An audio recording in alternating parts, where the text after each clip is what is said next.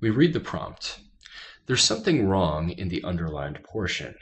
The comparison is muddled. Both logically and grammatically, what exactly are we comparing? Is it barrels, years, or reserves, or stockpiles? It can only be one. Let's look for an answer choice to dispel this concern. C and D are both simple and therefore tempting. But wait a minute. Grammatically, they compare 1,000 barrels with a year, the year 2003. We can't compare barrels with a year, so C and D have an objective defect. Let's look for more objective problems. E says fewer than that.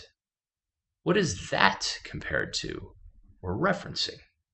It can't be barrels because that's plural, and it can't be stockpile because E mentions a stockpile later.